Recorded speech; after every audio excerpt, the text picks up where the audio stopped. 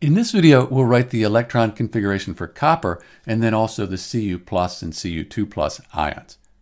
Copper is an important one to understand since it's an exception to the rules that we use to write electron configuration, so you'll see it quite often. So for copper, the neutral element, that means it doesn't have the pluses after it.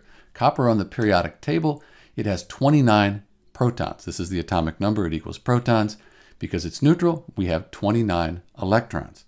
So to write the electron configuration, I'm going to use this periodic table here. You can also use this chart. There's a link in the description how to do that. This is really a better way though. It shows you the electron configuration, how it really relates to the periodic table. So we'll start with 1s. S can hold up to 2. We have 1s1, 1s2. We go to 2s, put 2 in there. 2p, p can hold up to 6.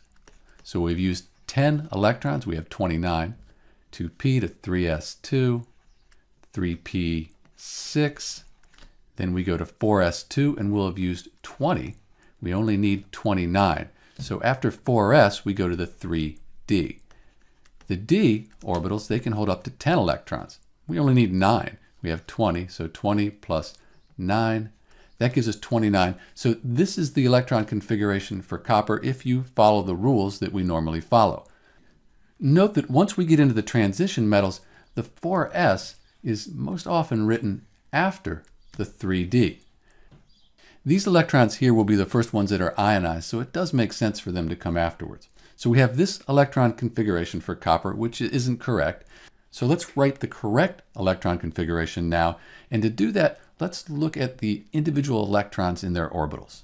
So to write the correct electron configuration for copper, we need to know this rule here, and that's that half-filled orbitals, these d orbitals, or completely filled d orbitals, are more stable than those with one electron less. So we have this d orbital up here for copper, and it's almost full. We have two electrons in each of these. This only has one. So if we could put one more electron here, this would be much more stable. The way we do that is we take this electron here from the 4s2 and we put it in the 3d9. So this is full now. This is more stable. And then we need to change these numbers up here. This becomes 4s1 and this becomes 3d10. So this is the correct electron configuration for copper. Remember, if they're half filled, each one of these has one in it, or they're completely filled, like we have it here with two in each of them, that's more stable. So for copper, this is the configuration. We can also write a condensed notation for this, and that looks like this. Argon in brackets, and then we have 3D10, 4S1. For the ions, it's actually pretty simple. We're just going to remove electrons. So we have copper here. If we want copper plus, we just get rid of this electron here, Sometimes you'll see a zero written, and this is the electron configuration for the copper 1 ion, this copper plus. If we want copper 2 plus, we'll just take away another electron. We'll have to take it from the D now, and that becomes 3D9.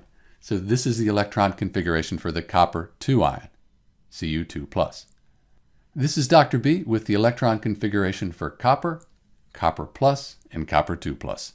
Thanks for watching.